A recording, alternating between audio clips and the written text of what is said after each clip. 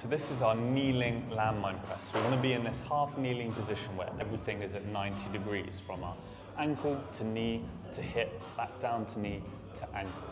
Spine is going to be in neutral, head remains in the right position. Now, Sandra's got the bar perfectly placed, so if she did take her left hand away, it remains perfectly on her shoulder joint. Now, she's going to brace through her feet and her hips to create this stable base and drive the bar away from her in this almost vertical high angle plane.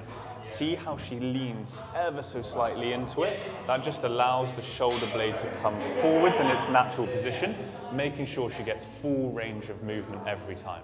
When she finishes the rep, she's going to allow the bar to sit on her shoulder, again knowing she's done the full range. She doesn't lean over to one side to compensate for the weight. She remains in a straight line here, in a stable position, performing the rep perfectly.